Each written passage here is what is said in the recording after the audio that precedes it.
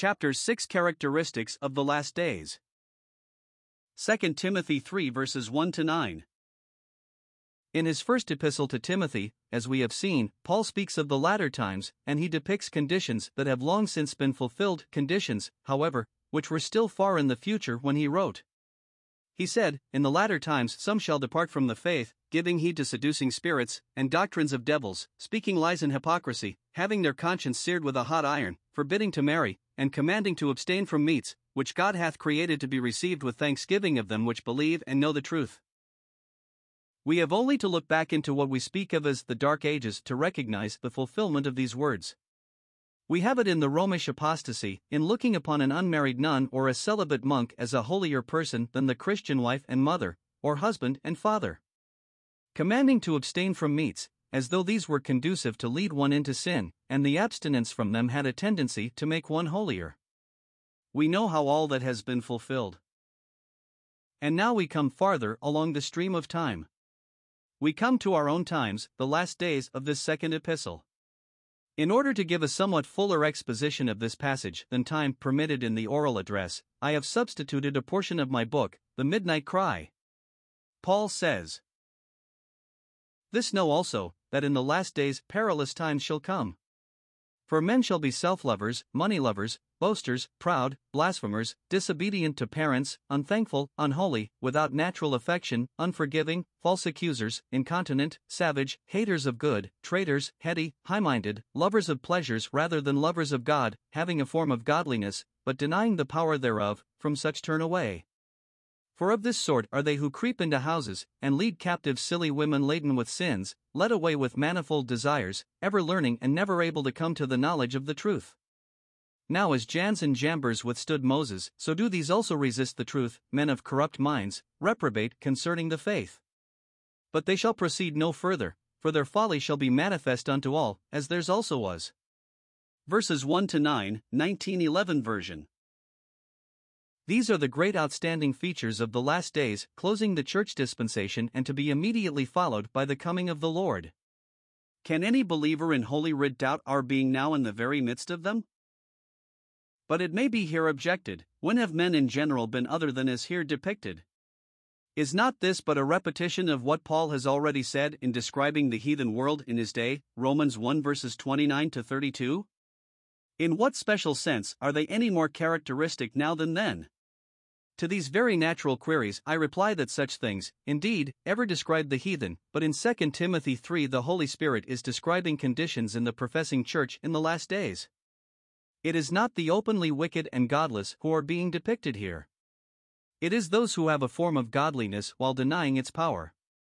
This is what makes the passage so intensely solemn and gives it such tremendous weight in the present day. There are 21 outstanding features in this prophecy of church conditions in the last days, and that each may have its due weight with my reader, I touch briefly on them in order. 1. Men shall be self lovers. It is men self occupied, as contrasted with the godly of all ages who found their joy and delight in looking away from self to God as seen in Christ. This is the age of the egotist in matters spiritual as well as carnal. They find their God within them, we are told, and not without. They make no secret of it. When they profess to love God, it is themselves they love. 2. Money lovers. Is it necessary to speak of this?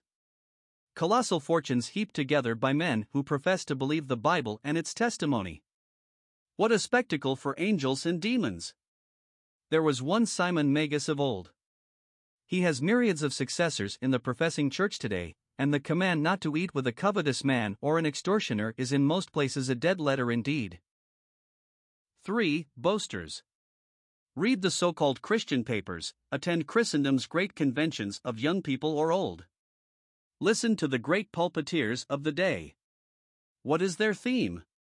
Rich, and increased with goods, and have need of nothing. Great swelling words are rapturously applauded by people dwelling in a fool's paradise, even when uttered by men who are tearing the Bible to shreds, and who deny practically every truth that it contains. 4. Proud so proud as to glory in their shame, congratulating themselves on the very things the Word of God so unsparingly condemns.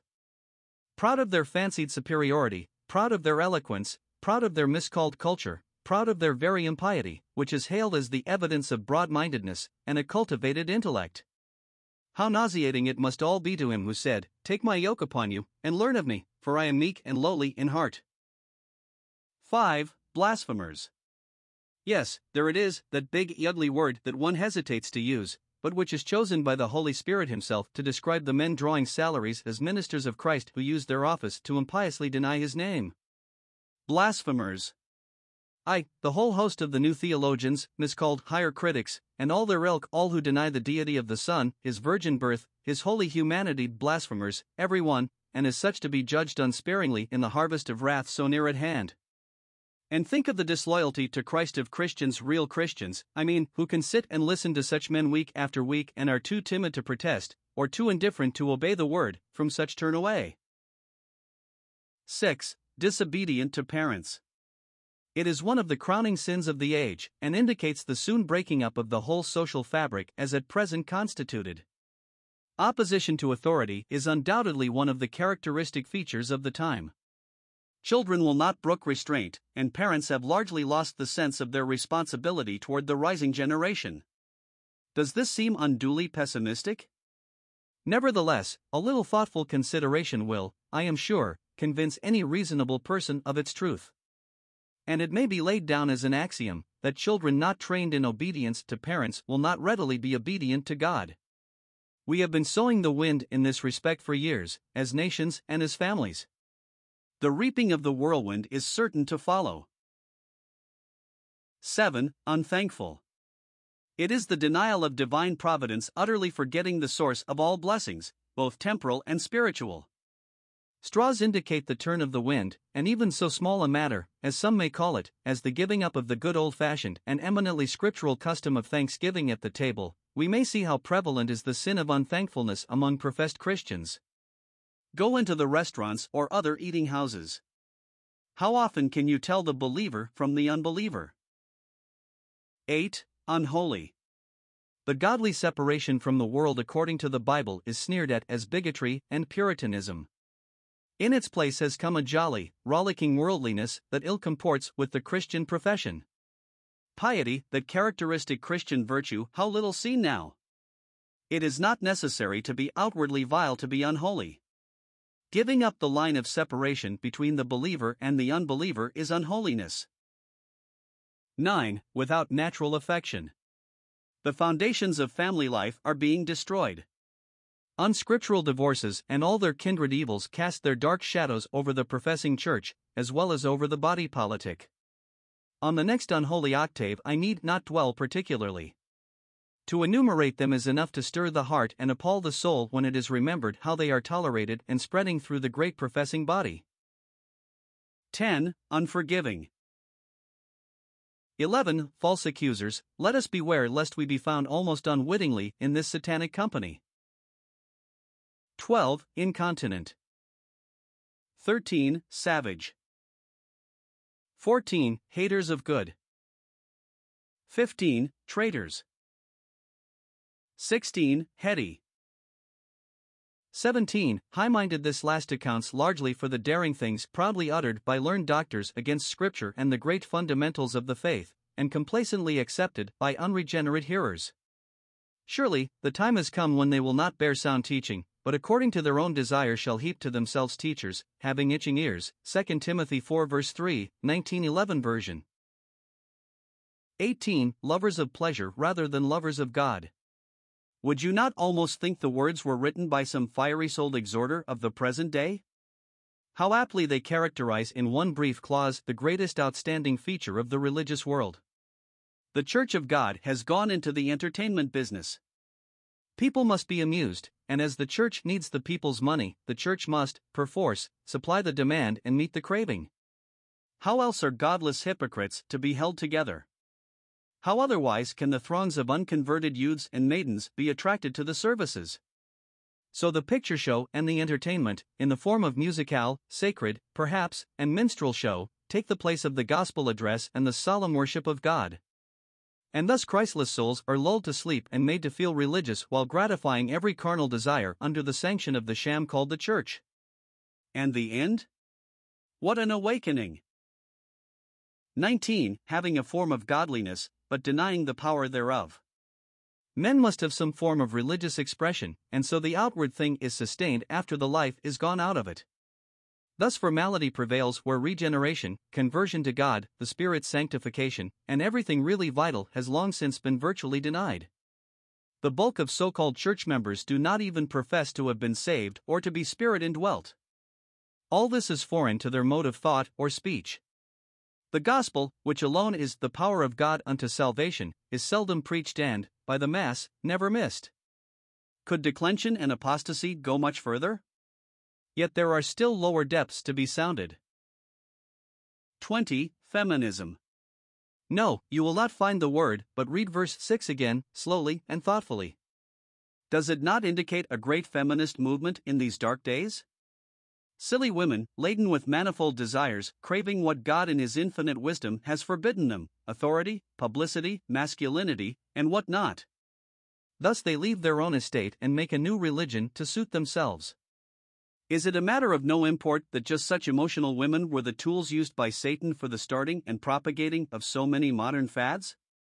Need one mention Mesdames Blavatsky, Besant, and Tingley of Theosophy, the Fox sisters' relation to modern Spiritism, Mrs. Mary Baker Glover Eddy and her host of female practitioners in the woman's religion miscalled Christian Science, the neurotic Ellen G. White and her visionary system of Seventh day Adventism, Ella Wheeler Wilcox and her associates in the spreading of what they have been pleased to denominate the New Thought, which is only the devil's old lie, you shall be as gods, in a modern garb, and the women expounders of the silent unity, or home of truth delusions? All these are outside the orthodox fold.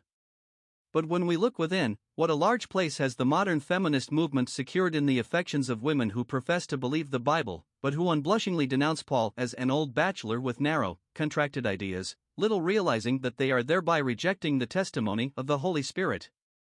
It is one of the signs of the times, and clearly shows toward what the professing body is so rapidly drifting. 21. 21. Ever learning, and never able to come to the knowledge of the truth, and that by their own confession. They are truth seekers. Ask them if it be not so. They confess it without a blush and consider it humility thus to speak. According to these apostates, the church which began as the pillar and ground of the truth is, in this 20th century of its existence, seeking the truth, thereby acknowledging they never yet have found it. Truth seekers. Yet the Lord Jesus said, I am the way, the truth, and the life, John 14, verse 6. Why then seek further? Because they have drifted away from Him and His Word, so they go on, ever learning, ever seeking, and ever missing the glorious revelation of the truth as it is in Jesus. Well, this is the end. Declension can go no further than to deny the Lord that bought them, until He Himself shall remove His own to the Father's house. Then the apostate body remaining will declare, We have found the truth at last, and they will worship the Antichrist, believing the devil's lie and calling it the truth. And how comes such delusion? And for this cause God shall send them strong delusion, that they should believe the lie, that they all might be judged who believed not the truth, but had pleasure in unrighteousness. 2 Thessalonians 2 verses 11 to 12, emphasis added, 1911 version. As for those who have been the leaders in turning others from the truth, what will happen to them? Now, as Jannes and Jambres withstood Moses, so do these also resist the truth, men of corrupt minds, reprobate concerning the faith. But they shall proceed no further, for their folly shall be manifest unto all men, as theirs also was. That is, in due time God is going to deal in judgment with those who mislead the ignorant and unwary, and who turn them unto fables which encourage them to live in sin and follow after the lusts of the flesh. This is God's picture of the last days.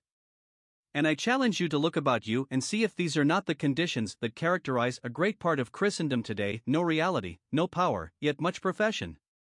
God give us to be genuine, to be real, that eternal things may so grip our souls that we will live and do the work and be real witnesses for Him.